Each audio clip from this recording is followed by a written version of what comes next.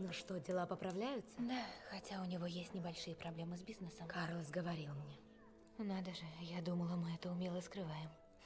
Хаттон страшно огорчится, если узнает, что все в курсе. Он не любит проигрывать. Ты хоть спишь? Звонила моему психофармакологу. Ты звонила ему? Позвони ему, он гений.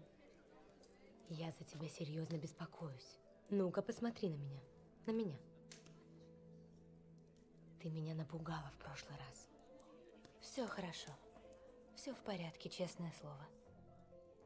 Сама не понимаю, что на меня нашло. Теперь мне неловко за тот разговор. Разве я имею право быть несчастной? У меня же есть все.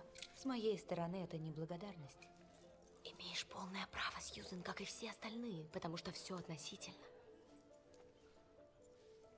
Да. Ты ужасно строга к самой себе. Как тебе удается? В смысле, с Карлосом? Я просто стараюсь не заморачиваться, и все. Муж гей, это вообще-то не так уж плохо между нами. Эх. Мы лучшие друзья. Мы безмерно любим друг друга. Я, несомненно, единственная женщина в его жизни.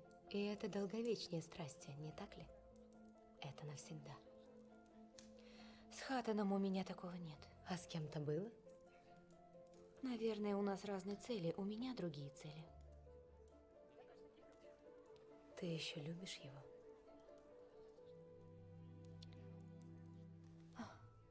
Меня вызывают, извини. Он спешит на самолет, я провожу его. Mm.